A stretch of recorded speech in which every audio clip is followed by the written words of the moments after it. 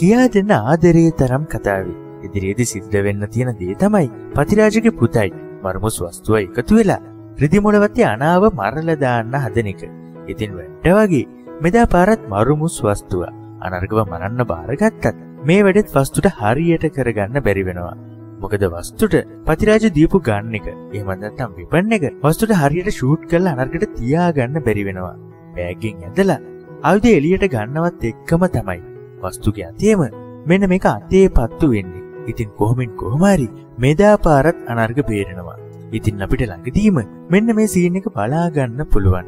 ඉතින් මේ කතාව ඉදිරියේදී කතාවට අලුතෙන් ආපු නිර්වාන්ගේ නේහගේ ජීවිතේ වෙනස් වෙන විදිය වගේම තිවිලා ගියපු කුතුහලය වැඩි කරන කියා දෙන්න ආදරයේ තරම් කතාවේ. ඉදිරිය මොන වගේ වේවිද කියලා අපිත් උනන්දුවෙන් බලාගෙන ඉමු.